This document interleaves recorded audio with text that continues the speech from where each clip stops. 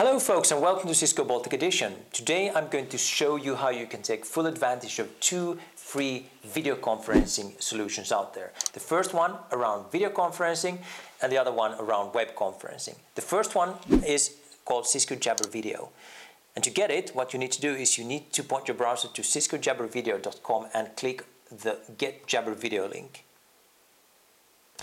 And then you need to complete the form because what we need to do is we need to be able to allocate a video address to you.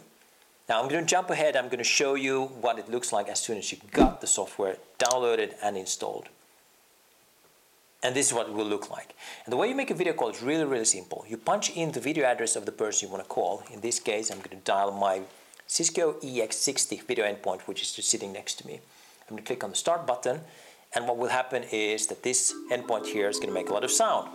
I need to answer the call. And this is the video quality that you will get. It's HD video, it's free. You can uh, call any standards-based video endpoint out there. You can share material. You can share, for example, a document or your whole desktop. And it's really, really simple to use. Now, what if you wanted to have somebody on the, the call who does not have any software installed on his or her computer or a video endpoint for that matter. Now the thing to do then is to point your browser to meetings.webex.com which is a free service from Cisco and the thing you need to do is you click on the sign up button here. There are four options and one is free and this is stuff you need to click on. You sign up and you will get the all familiar forms that you need to fill in, same procedures, verification, and so on as with the Cisco Jabber video client. Now I'm going to jump ahead, I'm going to show you what the meeting user interface looks like. So I'm just going to sign in here.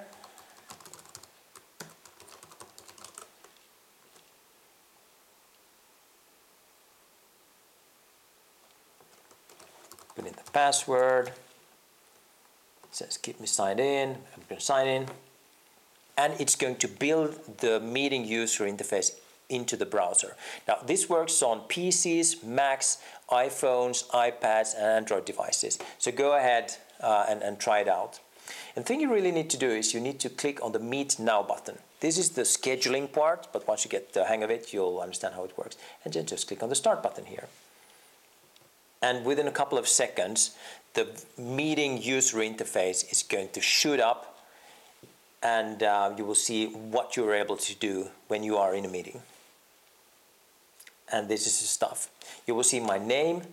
You will see that I can do a lot of things. I can join using my uh, computer as my audio channel. It's completely free of charge. I can punch up my video. Um, I can scale my video so the people you will have in the call will actually see you. You will be able to see them if they have a webcam. I can shoot up my video screen to this size, even higher up now, not to disturb you, I'm just going to take it away. And you can share your desktop or, um, or, or um, more material that you would have on your desktop. This is a really, really great way of, of getting people that you need to collaborate with into a meeting and get really productive in no time. The best part, it's free.